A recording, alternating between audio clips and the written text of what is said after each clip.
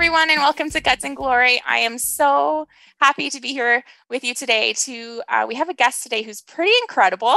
Um, obviously incredible because he's an IBD warrior, but also incredible for all of the wonderful things that he's doing um, in the brewing space. And if you're wondering what in the world are we doing talking about beer on Guts and Glory, you're going to see why. I'm really excited for you to all be here and listening.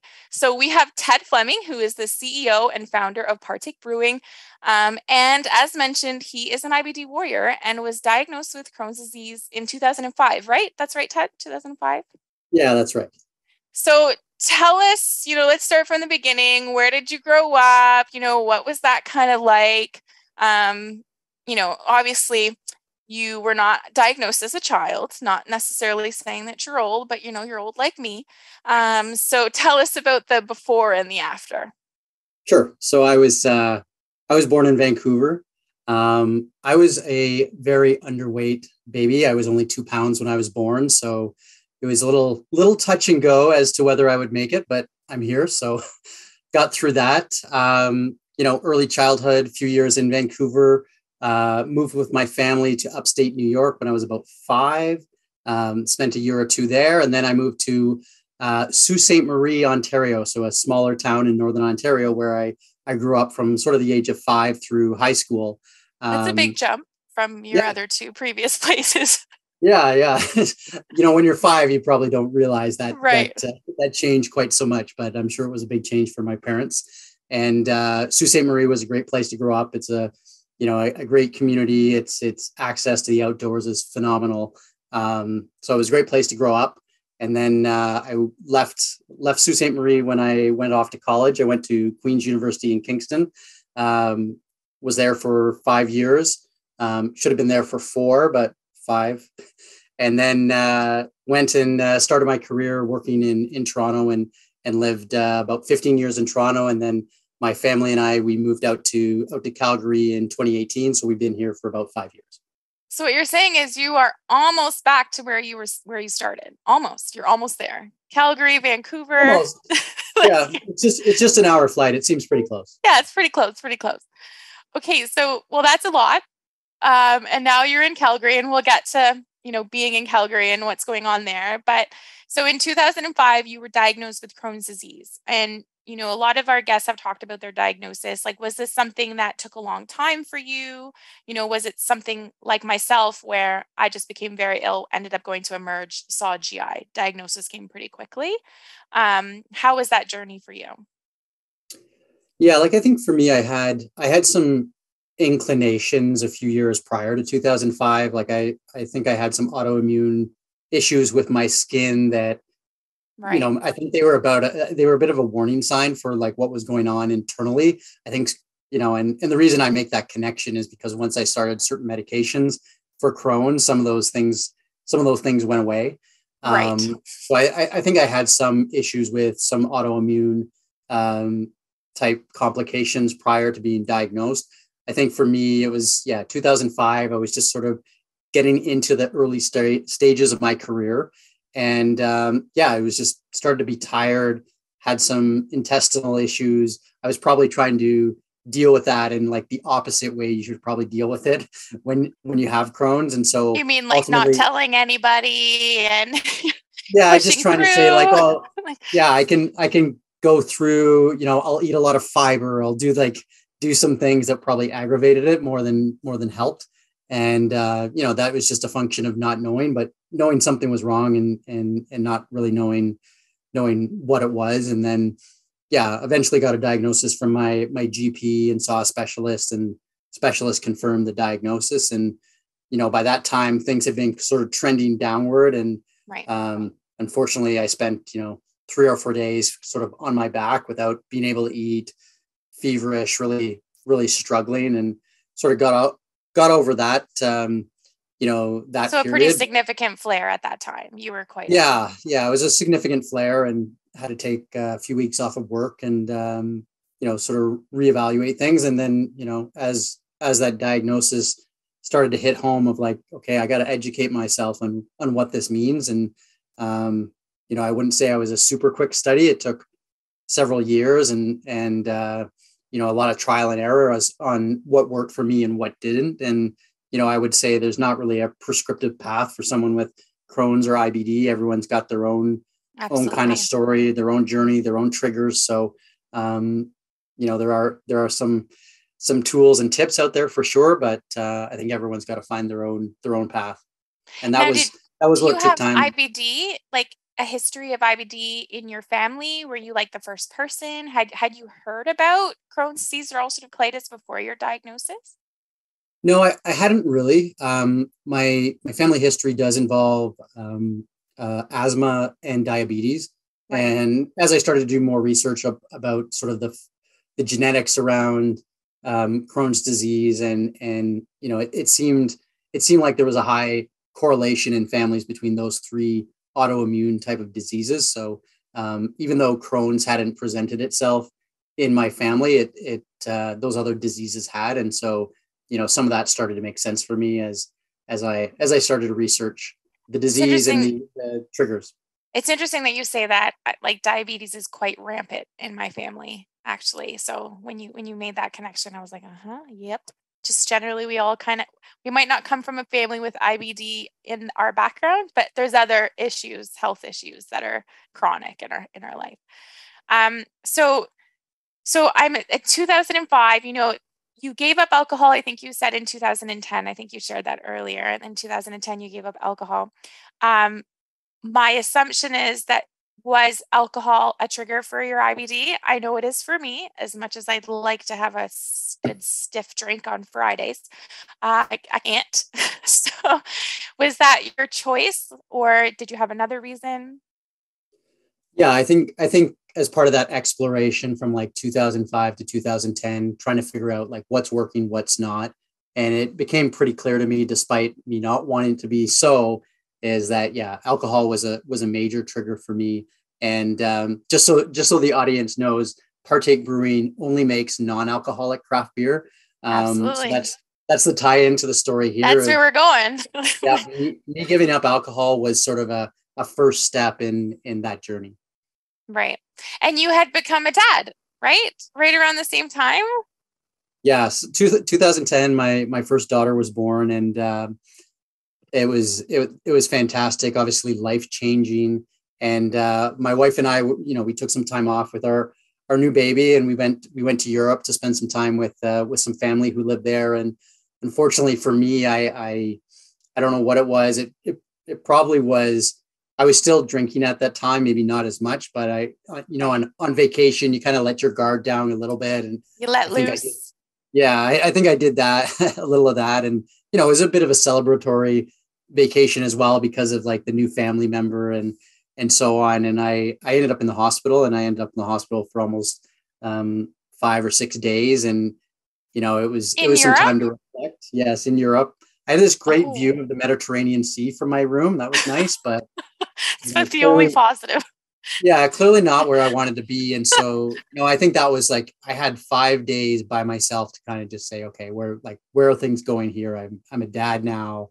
You know, I I really got to get my Crohn's under control. Like I have to take I have to do everything that I can to to keep it in check. And you know, I came out of that right. saying, "Hey, I gotta I gotta give up alcohol as as part of this larger shift to taking more control of of my health and wellness." Now you said so that there was about a that's a five year gap between your diagnosis and becoming a dad and, and ending up in the hospital with your lovely view. Um, did you during that time? I'm assuming you had to experiment with a lot of different medications did you have to have surgeries in that journey how did how did you navigate i i, I feel sometimes you know even myself i've had ibd now for 16 years um, and I feel like we glaze over. Like I'll be like, yeah, so I spent seven years in and out of the hospital, and people are like, what? Um, so how was that five years for you? Yeah, for me, I, I probably had um, probably probably had a flare up at least I would say once a year on average in those five years. Um, for me, the big the big challenge was I had a lot of fistulas um, right.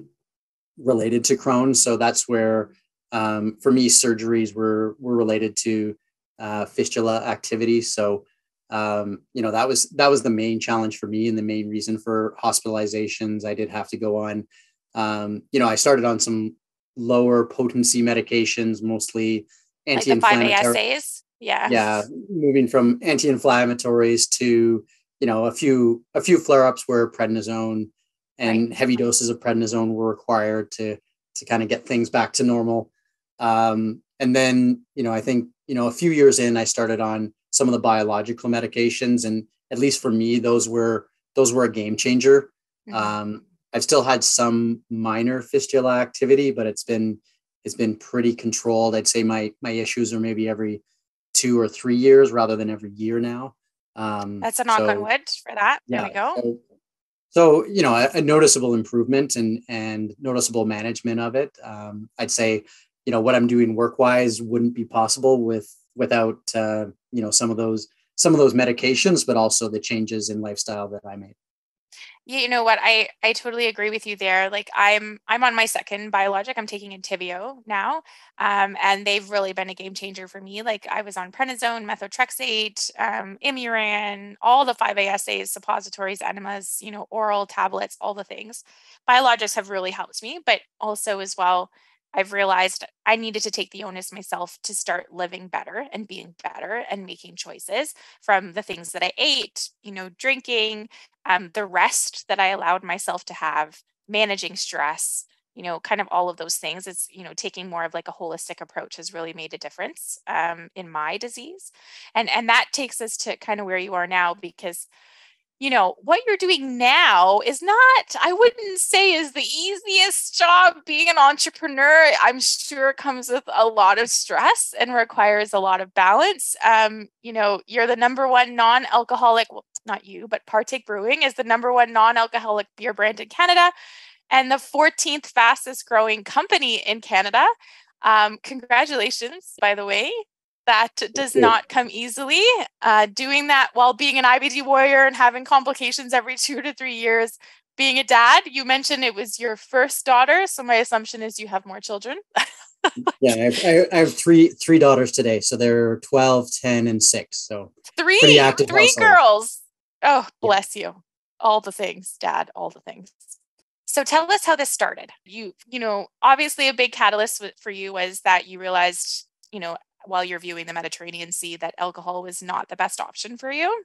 So, like, take us through that decision and how in the world it ended up you starting, uh, uh you know, a non-alcoholic brewery. How did that happen? Sure. So I think just a, li- a little bit before that, like I was experimenting with like, is it beer? Is it the yeast in beer? Is it gluten? You know, started using like drinking ciders instead of beer or wine, and you know, all paths led back to no, it's it's got to be the alcohol. So, you know, get, giving that up is it's hard. Um, you know, anyone who's doing, you know, it's January 31st right now, like anyone doing dry January, it's, uh, you know, it's, it's not the easiest thing. It's, it's, it's something that's, uh, that's difficult and takes work. And for me, I found that, you know, I could go two or three months without drinking alcohol, but getting beyond that was very tough because there weren't great, there weren't great alternatives for people that didn't drink um, you know, you'd go to a bar or restaurant and they'd they'd hand you the kids menu. Essentially, they'd say, you know, right. here's would you like Temple? Ju- water, juice, Shirley Temple if they had a, like a really progressive menu, right? Or, they had grenadine. so you know, it was it was a, a really demoralizing experience. You go, I'd go out with my friends. I still socialize, like we socialized over drink. Like when when one of my friends wanted to go out and like get something off his chest, it's like, hey, let's go for a beer. Was code for like, okay, let's go, let's right. go chalk, let's go connect. And so like having a beer was part of that ritual. And and so I felt like a bit of an outsider. Even times like I had one experience where, you know, everyone ordered a beer and I was like, no, I'll have water or soda water. You know, I was I was even trying to be good. And then like the server brought out beer for everyone and put a beer in front of me. And I'm like, okay, like Right. You can't put a beer in front of me. so it's very much like a it's a social habit, really. Right, right. And so I needed, like, I came to the realization I needed a a non-alcoholic beer that it looked like a beer, it tasted like a beer. Everyone around me was like, okay, Ted's having a beer with us. He's he's part of the group. And I think it was just all those factors. And I like to taste a beer as well. So, you know, that was right. that was a big factor too. But you know, all these things made me come back to like, I can still feel I could still feel good in this social situation. I would feel included. um, I wouldn't feel weird or people asking me weird questions about like why aren't you drinking or why aren't you participating with us. Um, if and I had you're getting the taste that you enjoy. Exactly. So you know that was my realization as I gave up alcohol, and then this was this was going to be a not a good non-alcoholic beer was going to be that tool I needed to kind of stay on this this path I wanted to be, and without that, you know, it was going to be much more difficult. Yeah. So my assumption is then you just started drinking all the non-alcoholic beers that were available. Like just let me try this, let me try this, let me try this.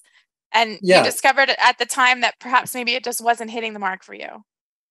Yeah, well, you you basically went through all that was available. There was basically three or four brands available. There was no variety. Everything was a lager. There was like store brand. There were a couple European brands, and like maybe one North American brand, and that was it. Like your your universe of non-alcoholic beer was was very Quite very limited. small.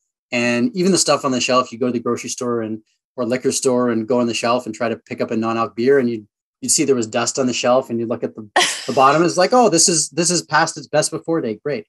So it's gonna try it anyways.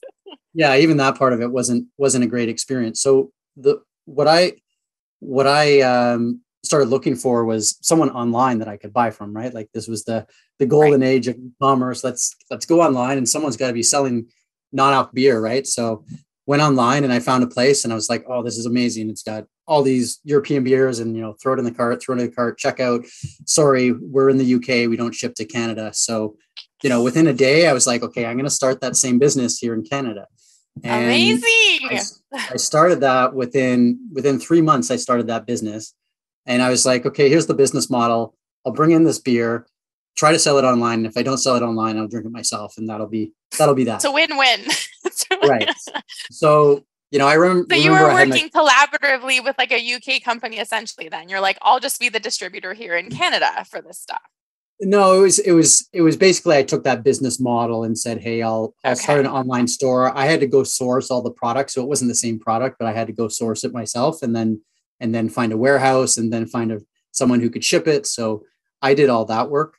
Um, and it actually, you know, it actually worked. We we sold over a hundred thousand dollars of product in the first year. Um, wow. It several hundred thousands of dollars of products in a few years, and then I think the real the real insight and unlock for me was that I was building this community around what I was doing because I was the only only person in North America who was really servicing this community. Like they were experiencing that same lack of choice, that same experience at a bar or restaurant of just being feeling like a second class citizen when they go in there because they don't drink alcohol. So I was someone who was really championing, um, you know, being a champion for them and and making making their world better. And you know, I I remember one one customer came back and it was actually the wife of a customer, and she said, "Hey, look, my you know, I want to thank you. My my husband was diagnosed with cancer last week, and he's got all his buddies coming over Friday for a barbecue and they always have beer and barbecues and like with his treatment he was he wasn't allowed to drink alcohol so she was saying like this was such a big thing for him to just feel like with all this other stuff going on in his life he could still have a beer with his friends and that was such a you know a, t- a touching moment for me that That's huge. was like okay i'm i'm doing something really important here like the the business aside i'm uh i'm really helping. And so that was that was sort of amazing and helped us uh help me get through a lot of the the trials and tribulations that happen when you grow a small business. And then as as things developed that community started coming to me and saying hey ted can you get this product from overseas? And one of the one You're of the like the non-alc dealer. I see what exactly that is exactly it so they they started coming to me in like 2015 2016 saying hey ted can you get craft non-alc beer and i went out talked to a few craft breweries and they're like okay it's not going to work too small right you know don't quit your day job type of thing. I'm like, this is my day job.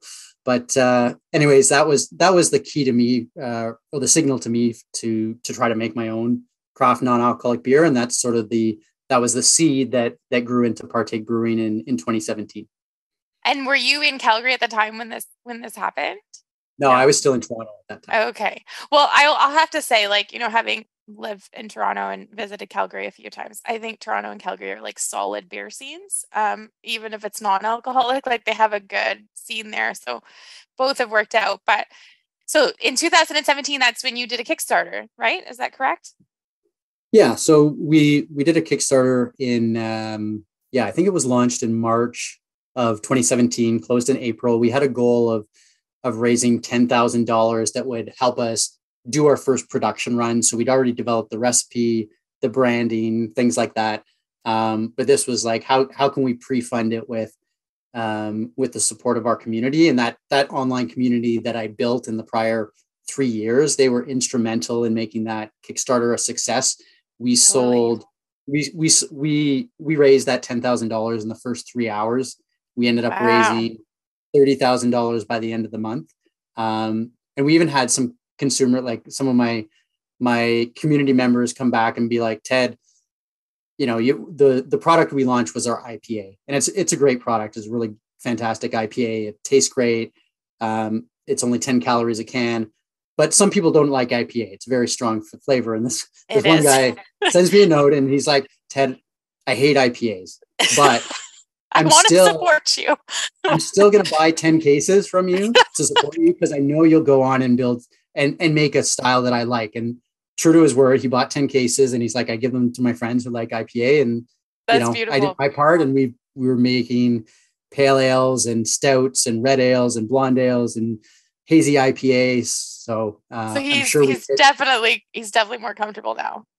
yeah, yeah, for but sure. Bless him for being like, I'm gonna order 10 cases anyways, but like I don't like this. Like you gotta Yeah, but I, I think that speaks to like the passion of the community and the fact that they Absolutely. they really appreciated that value I was bringing to them that no one else at that time was bringing. Yeah, I I um I am not big on like beer tasting. Um my my husband is and my dad. My dad actually has been an alcoholic his whole life. Um, and in the last few years, I'm very proud to say, like, he's put that part of his life behind him. Um, and I can't even imagine what that was like for him to do. I could only see from the outside. Um, but he had the same thing. Like he enjoys the taste of beer. Like he just enjoys the taste of beer. Um, and I had purchased, you know, some of your beer, non-alcoholic beer, um, and brought it to him because he's in small town Newfoundland. And, you know, just to see, like, he was like, oh, and like him having to like double check like he was double checking to make sure that I, i'm like dad i'm not like putting you in a lapse here. Like i'm not putting you back to where you came from. Like you're okay. Um, and then just recently my father-in-law um, spent over 140 days hospitalized uh, for you know pancreatitis that went severely wrong. And a lot of the big reasons for pancreatitis is alcohol and he wasn't drinking a lot or anything but he's older and was still having a few drinks. And you know, having been in hospital for over 140 days, three different hospitals, airlifted, coded twice, like a lot going on in his life. Um, he's been like, this is it. Like, I'm not drinking anymore. And then, of course, I was like, well, guess what? so so you know sharing that story it's not just like I, you know people with IBD who alcohol is a trigger you know people with cancer doing treatments like there's so many different people out there and i can't even imagine like i personally because i've never been a big drinker for me and i've always been the dd i always was the one driving everybody home um you're right about the social and like for me it was always like i would tell my friends about like oh i'm driving and they'd be like okay you know but the times that i wasn't i felt myself saying yeah, I'm driving because it was almost like the, well, aren't you going to have a drink? And I'm not trying to throw my friends under the bus. Like they're super supportive, but there is a social aspect to it. There really is. Um, and beer drinkers are also very specific about their taste. So the fact that Partake has now expanded to have how many different types do you have now? Is that even? Uh, I think we've we, we have probably launched about 14 um, wow. In ret in, in like retail, we've got like six six or seven that kind of sit in retail, and then online we sell you know seasonal releases, special releases. So um, you know, always trying to innovate and, right. and use our online channel for that. But in retail, you know, we try to we try to focus on sort of four to six uh, six different flavors.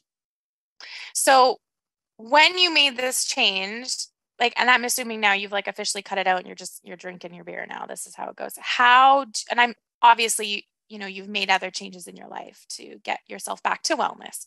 So how how has your experience been since this change? With your yeah I, I, you know like I, like i said i think the the the changes to diet so alcohol giving up alcohol is probably chief among those. Um, i also tend to uh, again, not prescriptive to anyone, but just things that have worked for me. Um, tend to eat red meat um, very selectively, so much less than I'll still Same. eat it, but but but try not to make it at home. Try to just save it if I'm out or at a friend's house. I'm I'm flexible to those to those occasions, but try to limit it at home. Tend to eat fish and chicken uh, as proteins a bit more um, because of the family history I have in diabetes. I have I have right. type two myself.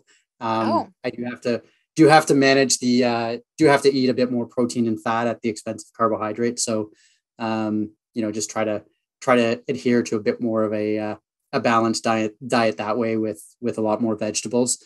Um, so those are so those are the basic the macro things for me on a on a uh, on a dietary level and a, a change level.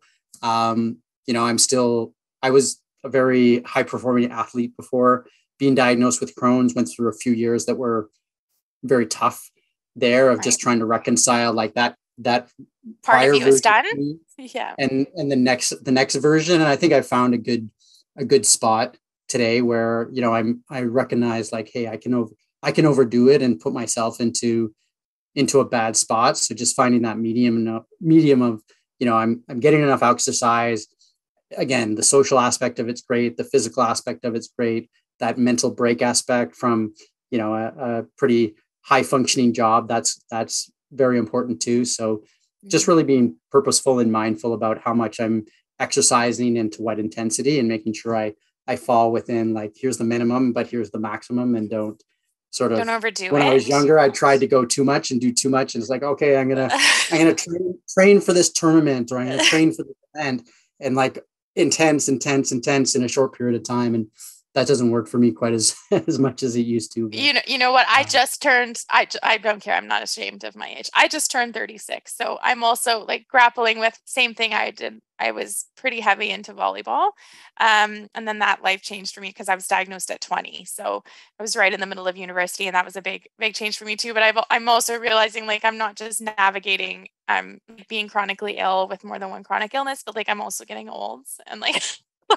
and sometimes I say, like, I wonder, like, is this because of my age or my disease? You know, um, I wish somebody would come in and be like, don't worry, it's just because you're getting old. You're okay. Um, but I don't think that's the way that it is. You mentioned carbs. Obviously, I had no idea about your type 2 diabetes. So you're just navigating all the things. Um, in addition to Partake being uh, non alcoholic beer, I'm fairly certain it's also quite low calorie and low carb. So I feel like you're hitting a whole nother market with that as well. Yeah. So I, I, th- I think like the way like we talk in, talk about our, our product is, yeah, we're, we're non-alcoholic craft beer. Um, but like number one, like we think our product is the best tasting non-alcoholic beer in the world and we've actually won the world beer award for the world's best non-alcoholic beer so oh, time time out for a second here there's there's beer awards world beer like beer olympics yeah. beer olympics yes this we won the gold. Yes, for the non alkies. I love it. Congratulations. That's a plus. What is this? I need like I need to yeah, know about so, this. So we've got uh, we've got the hardware to prove it. Um, but you know, I think more so than that, like we just hear it every day online, social listening of people who are like, I can't believe how great this tastes. It's like just as good as the alcoholic beer I drink, if not, you know, better. Right. You know? so, you know, we've the proof is in the pudding. Like all our products taste phenomenal. Um, it's a fantastic taste experience. And then layered onto that is, yeah, we we created a product that tastes that great, non-alcoholic, and all of our products fall within a range of like 10 to 30 calories a can and like zero to eight grams of carbs. So maybe it was kind of like a little a little fate, but you know, I wasn't type 2 diabetes when I invented the product, but you know, it's it's obviously something that really um, appeals to people who are on keto diet, people who are trying to ma- manage sure. their carbohydrate intake. I can drink two or three beers by themselves, and you know, I have one of those uh, those monitors, and it doesn't do anything to my blood sugar. So, um, you know, I wow. think it uh, it hits the mark certainly with those communities, but I'd say more broadly, right? Like, you know, when you're when you're consuming a beverage, right? Like you're you're often saying, does it taste good and is it low calorie? I think most people today are looking yeah, for those two, one. Yeah. those two attributes. And you know, we have a non-alcoholic beer that uh, that hits those uh, in spades. so that's definitely like what's led to the success obviously that that that group that you had at the beginning when you were you know for lack of a better term being the dealer um, obviously that group was pivotal in helping you achieve success that you have now but you know the just the climate in general and just like that the beer that it's it's low carbs and it's you know all of these different things. Granted that happened after your then you were diagnosed with diabetes. There's a lot happening here. I feel like that's another episode. Um, but clearly that's what's led to the success. Do you think there's anything else great tasting low carbs all those things anything else in addition that has really led to the success? Because and in addition to that can you let us know because i'm pretty sure you're now north america if i am correct. So yeah so um yeah I, th- I, think there's two things right? Like the, the product itself being you know materially better than what was there before. I you know i told the story about no variety That's uninspired right. taste. Like we've we've you know we've fixed that problem. We've solved that problem. Um, but in parallel you know there's there's been this huge attitudinal shift in society around drinking particularly with younger generations of you know alcohol not being as as central in social occasions it's much more acceptable for someone to go into a social situation and say, hey, I, I don't drink or I'm not drinking because it's dry January or it's sober October. Um, you know, the social acceptance of being sober, whether it's a full-time thing or a part-time thing, um, is way higher. It's even, you know, it's it's it's even uh, trendy to the point where I've had someone when I said I'm sober, someone said, "Are you real sober or trendy sober?" You know what? I have to say the new generation, the generations coming up are they are a lot better. I think. I agree for sure. Yeah. So there's there's this there's this parallel path of like okay, society's tra- changing, and people today are looking at, hey, I'm gonna I'm gonna still maybe drink alcohol, but I'm gonna I'm gonna reserve that to like Friday, Saturday, and the rest of the week I'm gonna drink something like Partake, where it's like it's low calorie. I'm not drinking I'm not drinking um, alcohol, so it's like definitely healthier from that perspective. And you feel you know, okay seen, the next day going into the yeah, office. Yeah, just like functional. Um, and we've seen all this new new research and guidelines around like what's the what's the safe limit of alcohol. And I think you know the the bottom line is there really isn't any safe level. It's all it's just a matter of a, a matter of degree. And so you know I think people are looking at look I can have this seamless taste experience. I can go home after work and have a beer, and it feels like I'm having a beer, and I have that same kind of like disconnect where I can have that social occasion and have a non-alc beer in my hand and feel like that was like a really enjoyable experience from the product I was drinking point of view, but also from that social connection point of view. And so people are looking at non-alc as just a tool in their toolbox to say, hey, I can I can live a healthier life, I can be more present, and yet I'm still enjoying that that beer experience. And then you know they'll they'll reserve that alcohol experience for the for the weekend when they you know maybe have a yeah you don't have to have so much yeah, yeah, you don't have to have so much grenadine in the form of Shirley Temple. Not to throw shade at Shirley Temples. I love them for sure, but I feel like too many Shirley Temples gives you a different version of a hangover.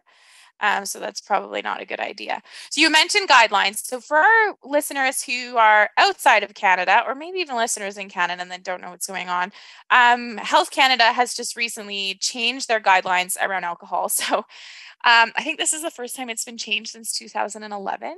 I think I read somewhere, I can't remember, but so Health Canada's guidelines previously to most recent was um, you're okay to have two alcoholic drinks a day. And I remember like reading this and being like, what? Like they said that's okay. Like I could picture when I was a kid and, you know, cartoons were smoking, you know, like that's kind of like my vision of how I had. Um, and they've changed that from, you know, it's it's not okay to have two drinks a day you know, minimal effect is if you have two alcoholic drinks a week now. That's so drastic change. Like, you know, it's it's not even going from one a day or two every every other day. It's it's two day two a day to two a week. So I'm assuming something like that also works in the favor of the success of, you know, your organization, your your company. Um, so I would assume you like that. I feel like you're in the right place at the right time, and the rest of the world is finally waking up to some of the health benefits, obviously, of, of non alcoholic beverages. So tell me a little bit about that and how you feel. Yeah, I, I think for me, the bottom line is is just I think it just raises raises the flag is of like, okay, look, you you you need to anyone needs to make just informed decisions and i think this is um, you know giving consumers information that they can choose to use or choose not to use or or or you know do what do what works for them. But um, you know i think it is helpful for people to have just like it was for you know other substances of of of have of having the proper information in your hand to make informed decisions. Um, i don't think that's that change is going to change things overnight, overnight, for our business. Yeah. i think it's going to have maybe a 10 year impact of people. And i think you're again you're starting to see that in younger generations who probably are just more aware of the and, and more um, health conscious you know, in tune health conscious mm-hmm. with with the impact of alcohol on on health. So you know I, I think again like those younger generations coming up will have this information out there and available to them front and center. Um, so i think over over a longer period of time that will definitely have an impact and help our business um, but um, I don't I don't think overnight it's going to change no. things for people. I think they're going to kind of you know it'll be in the back of their mind as they make decisions, and maybe when they buy a six pack of uh, beer instead of buying that second six pack, they might pick up a six pack of partake. Well, I'm also thinking like it's, you know, having these guidelines in place is it's great for the individual who can make choices, but I also feel like over time it will inform society in the way our structures work. So in terms of our our you know restaurants and our businesses and clubs and bars and those types of things being aware of this being aware of these new guidelines that are clearly out there they're not hidden like it's it's this is the science this is what we figured out. You know i would hope we would then see more non-alcoholic beverages like partake available regularly you know it, you used i remember as a kid being able to smoke in restaurants and then it turned into smoking section versus non-smoking section which was literally just like there was a plant between you and the other person you know? So and like like structures changed with guidelines you know? Um and I I know I've been to like restaurants where yes they'll have like a mocktail section or non-alcoholic beverage section but I've also been to places where like that's not an option. It's like let me just slap here's the wine menu, the wine and beer menu. Um and then, you know, we also have coke and water. Essentially. Yeah. yeah, I think I think you're seeing more like you're definitely seeing more um non-alc sections within menu. It's definitely improved from like where it was three, five years ago. Um, definitely moving in the right direction. Are there still a ton of places that I have to ask, do you have a non-alcoholic beer? And then they might say no. But then, you know, in half the in half the cases they say yes. It's like, and then it's like, why isn't it on the menu? Like, why don't you why, why don't you why don't you tell people that? Right? Like, how are you going to sell something that you don't even put on? That's put right. On like, so, you know, I think there's still a lot of a lot of room to run, a lot of um, evolution of menus, and and you know the the attitudes towards non-alc are changing. I think many ways, you know, the alcohol industry and and businesses that that you know were supported by by alcohol, you know, we're we're a little hesitant to come to to non-alc, fearing that you know it was it was a threat. I think I think the way you're seeing consumers use our product and alcohol in you know largely being flexible consumers around drinking both i think it just makes a lot of just makes a lot of business sense today for for places to carry both because that consumer is who knows when they're coming into your your bar or restaurant or your retail store they could be buying both. They could be buying non-alc in that occasion. They could be buying alc. So you know i think you're as a business you're you're probably in a, the best spot if you're if you're serving both um, yeah, you need to have an inclusive space. Like everybody is, I think everyone has a right to an inclusive experience, like no matter where they go, from whether what they're drinking, anything really. So if we're in Canada, for our listeners who are in Canada, where do we get your beer, non alcoholic beer? If we are in the United States or in any other places, how how does that work? Because we do have listeners all over the world, so I, I can already think hear people being sure. like, eh, so yeah, how so, does that work? Yeah, I'll start with Canada. So in Canada, we are pretty much, excuse me, in every every major retailer in Canada. So we're in we're in Lob we're in Loblaws Superstore, we're in Sobe Safeway, we're in Metro, we're in the LCBO, we're in the beer store, we're in BC BC Liquor, um, tons of independents, co-op. Uh, I'll give a shout out to co-op uh, uh, grocers here in Calgary, regional uh, grocery player. we're in Wal we're in Walmart as well. Costco is coming coming on board hopefully this year. So um, you know, pretty pretty extensive uh, access. Now, just a question: Moving into Costco, are you going with larger cans? What's happening when you go to Costco? not larger cans. more more cans per pack, but okay. There we go. There we go. That's the Costco life for sure. Yeah. All right. Now, if you're in the U.S., how's that working? So the U.S. is a um, we're not quite as well developed, but we are in in some major retailers. We're in um, Whole Foods in a number of regions. We're in uh, Wegmans in the Northeast. We're in Target across a whole whole bunch of states, which is which is really exciting. Um, uh, we're in a, a, liquor retailer called Total Wine and More, which is across 25 different states. We're in a retailer called Bevmo, which is a multi-state uh, liquor retailer. And uh, on both sides of the border, um, if you can't find us at retail, you can get us at drinkpartake.com. So we can do e-commerce across uh, across both countries as well. That's perfect. So we will definitely be sharing drinkpartake.com on our socials, just like getting that. Um, it's a good thing that we've had a full explanation because people, I could see people being like, "What is she doing over there at Guts and Glory with this?" um, so before you go, first of all, it has been such a pleasure. Um, I, from a fellow IBD warrior to another IBD warrior, I am. I can't believe that you have done all of this, um, navigating being having Crohn's disease, starting your own business, going from a dealer to starting your business. I am sure the journey we glazed over, you know, you creating the beer that tastes delicious. We kind of glazed over that trial and error, but I'm sure it was quite difficult. Just slipped in there that you were also diagnosed with type 2 diabetes and you know you're a dad of three girls kind of all these things um, it's pretty incredible what you're doing. I I'm sure people tell you all the time that, you know, you should be super proud of yourself and you're doing amazing things, but truly mean it. Like what an incredible human being. I'm so grateful that you've joined us today. I wish you, your family, you know, Partake Brewery Brewing all the success, all the success. I'm definitely going to dabble some I'm I'm a blonde fan and I believe you have a blonde beer. I do. Yeah. So I'm gonna dabble some more in that, uh, just because. Why not? Look at me. Um, but before we go, is there anything else you'd like to share with our listeners, whether it's IBD related or you know, journey to you know, transitioning to having non-alcoholic beer sometimes, social, anything. If there's anything you'd like to share, feel free.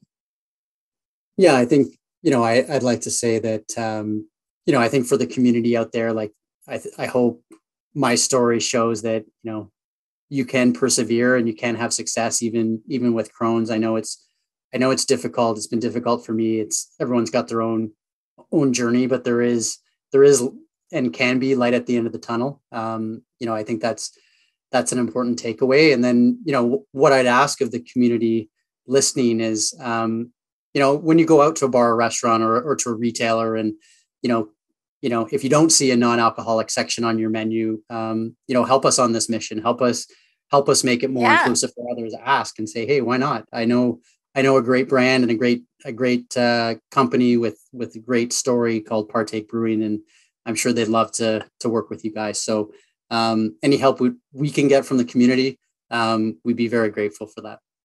I love that. Guts and Glory listeners, you just heard you just heard it here. Okay, everybody, hit the ground get out there in your communities. Let's help Ted out, um, which ultimately helps us out. Um, but yes, Ted, thank you so much for being here and taking the time. Clearly, you're a very busy man, so you probably need to get back to the busyness of your life. Um, but thank you. Thank you for joining us. Um, that's it, everybody. Thank you for being here and listening to this episode. Um, I learned a lot. I'm certain you did as well. Um, in addition, I just wanted to mention uh, we will be sharing on our social media pages as well. Um, if any of you are having trouble with alcohol uh, abuse, that there are, you know, local and countrywide organizations, phone numbers, websites that you can go to to get help um, if you do need help when it comes to any type of substance abuse. And know that you are worthy and we want you here and we want you healthy. Um, and you can still have the great taste of beer if you drink partake. So thanks, everyone. Peace. Um, I hope you have a wonderful time until we're back with our next episode Strength and Positive Thoughts. The information on this podcast is not intended or implied to be a substitute for professional medical advice, diagnosis, or treatment. All information contained on or related to this podcast is for general information purposes only.